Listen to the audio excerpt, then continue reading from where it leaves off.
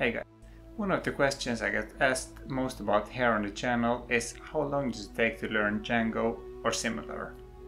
This is a question which can be very hard to give a good answer to because it really depends on the situation you are in and similar. But in this video I want to talk a little bit about this, so maybe I can clarify it a little bit for you.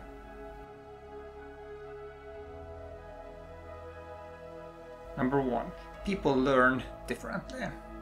Some people like to learn by doing. Some people like to learn by reading documentation for a specific programming language. Some people like to go through hours of videos here on YouTube. And some people want to go to school to learn things like programming. And the point of this is that even such a small thing like how people learn can very much impact how long it takes to learn how to program. And number two, people have different backgrounds. I know that many of my subscribers doesn't know anything at all when they start learning and some of you already know programming like PHP but you want to jump into Django and then you already have a basic understanding of how things are connected and similar and maybe you're just genuinely interested in computers so you know uh, a lot of things but you don't know anything about programming. So that's a little bit about the different backgrounds you can have.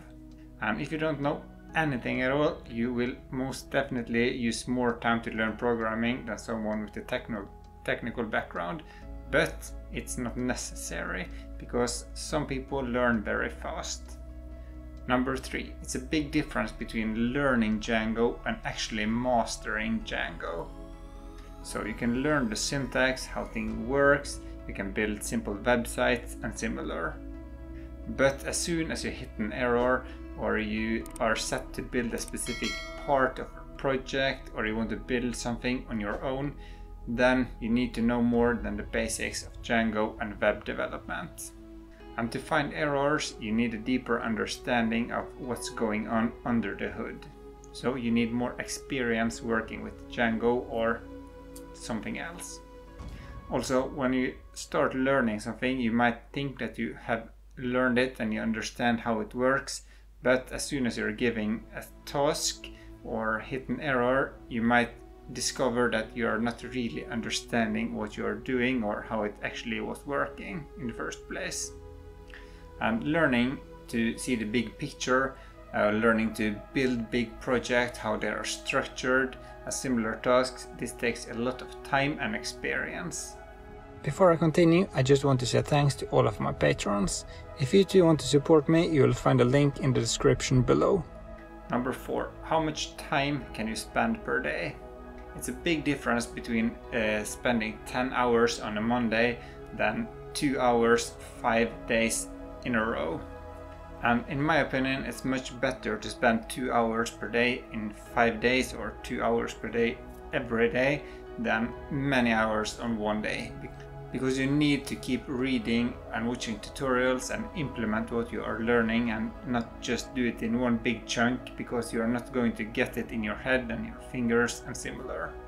So you need to keep building small projects and implement new features and similar to keep gaining the knowledge you have already started to build up.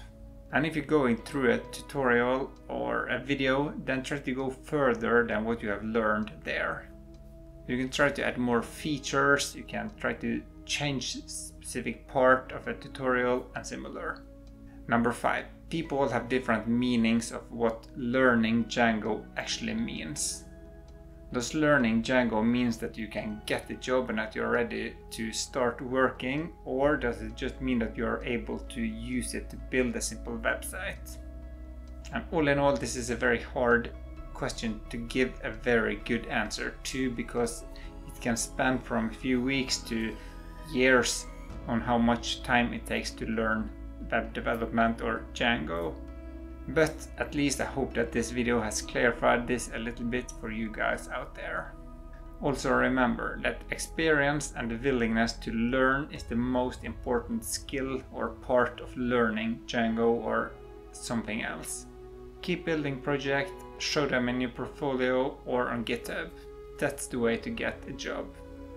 Anyways, that's a wrap for this video. Hope you liked it. And if you did, please hit like below and remember to subscribe if you want more content like this. See you in the next video.